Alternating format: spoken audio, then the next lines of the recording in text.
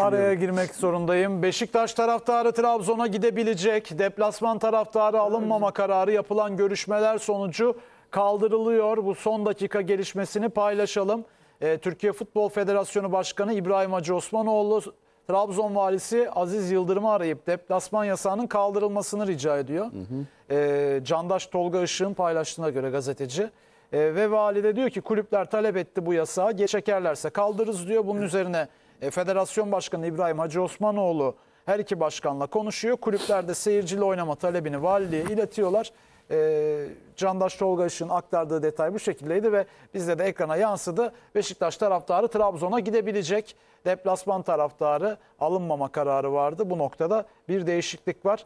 Ee, Başkan İbrahim Hacı Osmanoğlu da göreve gelmeden önce seçim sürecinde yaptığı açıklamada deplasman yasaklarını kaldıracaklarını söylemişti. E, ona yönelik de bir hamle yapmış. Şu an için böyle gözüküyor bu gelişme.